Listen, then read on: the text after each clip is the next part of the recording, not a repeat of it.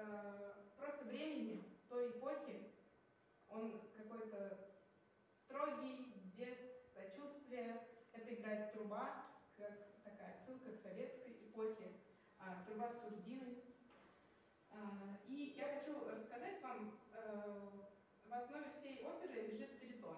Наверное, все музыканты знают, что тритон — это такой несовершенный интервал, это увеличенная кварта или уменьшенная квинта, которая не дает нам того самого консонанса, который мы ждем и хотим. Она вот такая, она корябает наш слух. Собственно, как время, которое а, вот, а, разворочило судьбы да, того поколения.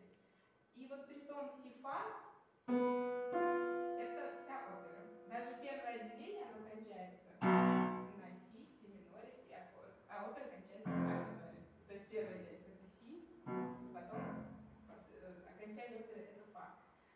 Э,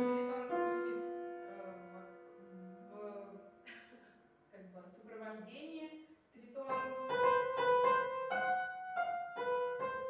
в самой теме трубы. А потом вступает у нас Калина Джими, у него тоже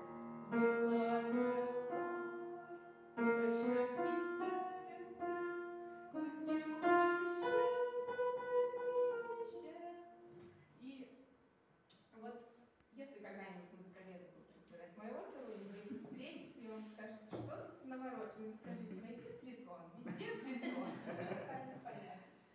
Вот. Я хочу, чтобы мы э, послушали пролог.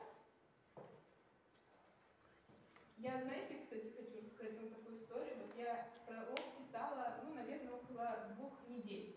Вроде две недели это немного, но две недели круглосуточной напряженной работы, когда ты над этим думаешь непрерывно, это достаточно изматывает. И вот было сложно к нему прийти. И я помню, что когда я написала, я думаю, ну, теперь можно показать домашним, рассказать вообще, что я задумала, можно показать маме.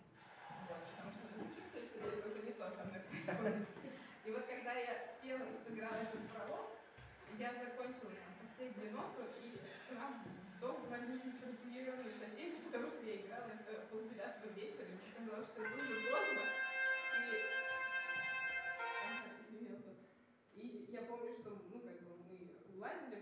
мы не хотели их раздражать. Но я расплакалась и стало так обидно, что я не знала, как они деле. Я сейчас показываю свой труд, и тут заваливается разъяренная толпа и портит вообще весь вечер все настроение, мой показ. А теперь я думаю, что это, наверное, как примета на свадьбе, да, что невеста поплакала, значит, на счастье. Вот, наверное, счастье поплакала так. Да, можно прям с самого начала, на 5 секунд.